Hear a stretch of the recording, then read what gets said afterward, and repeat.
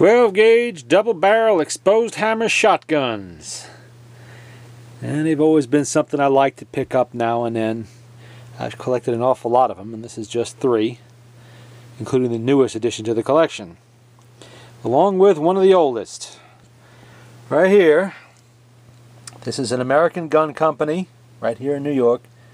12 gauge double barrel hammer gun. And you can see the stock has the usual wrist cracks and tape, epoxy, all kinds of repairs done to it. You can see like right here it's been filled in to tighten up the action and shimmed a little bit where it wore out there. It's been around. I've had this shotgun for almost 30 years. Fluid steel barrels and I have used it. This shotgun's been behind the door for a very long time. Well, it's been retired for some time now, but it's been in service many years. Made around this one probably around 1897, 98. It's got flat mainsprings. This one right here, I just picked up a few days ago. It's also American Gun Company, New York. The H&D Folsom Gun Company made these under that name, American Gun Company. This is a coil spring model. That means this is at least uh, 1900, 1905, somewhere in there. Fluid steel barrels. That means it's not Damascus. It was made for smokeless ammunition. And it's tight. Locks up tight. No wiggle. There was a crack in the stock but I fixed that. A little glue and some clamps. It has shorter barrels. These barrels are about 22 inches while the old one was about uh, 24 25 somewhere around in there. I did I should get a tape measure and measure them but I didn't bother.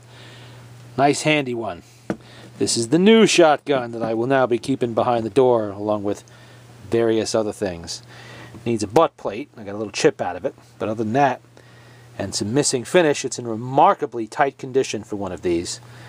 These were working guns. You went to the hardware store, you bought one of these, and you used it. You hunted with it. You shot your daughter's boyfriend with it. All them fun things you did with shotguns a hundred years ago. And you can see American Gun Company's right there. Oh, look at that, how nice and tight that is. And fluid steel barrels, or cast steel as it's sometimes called. That's modern steel. It's not, not Damascus twist. I do not shoot Damascus twist barrels. If I want to kill myself, pills are much, much easier. Okay, and the last one here is another one from the turn of the 19th and 20th centuries. This is Belgian. It is a 10 gauge. Very nice tight action on this one. Locks up nice. This is still a usable weapon. Somebody thoughtfully removed all of the blued finish from it before I got it. But that does not affect how well it works. I mean, there's not a huge amount of collector following on these. You can see there, those are 12 gauge chamber inserts because 10 gauge ammo is a little pricey and I just don't feel like loading my own black powder shells is what I would use in this anyway, so I use 12 gauge. And it is a very heavy gun. Ugh. And look how nice. I don't know why, what kind of, I guess they used walnut on these, but every time I pick up one of these Belgian doubles from this era, it's always got a nice stock. I have a 12 gauge like this. Same company that made it. I'm not sure which Belgian company did. Well, this one says U.S. Arms Company. That's just the manufacturer's stamped name on there to sell them under. They never have cracks. American ones always do.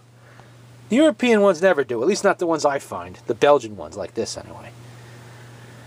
And over here we got some paper shot shells. These are from the 50s and 60s. And they're still still good. They still work. I buy these at flea markets all the time. A couple of dollars for a whole big jumbled miscellaneous box full.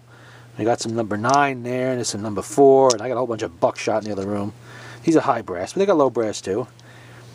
See the uh, the crimp on there for the paper shells. These are collectible. I don't actually shoot them, although I could. But they're antiques now, just like the shotguns that uh, they were used in. American Gun Company, coil mainspring. This was a gun broker find. Sometime actually, I have three more of the this particular model. So it was my first double, so every time I see one, I tend to buy them. But uh, another coil mainspring one like this, I recently got another flat mainspring one like this one. I have a 20 gauge version of this American Gun Company double. And I believe there is another oddball 12 gauge that's mostly for parts because it's in pretty bad shape. But there you go. 12 gauge hammer guns.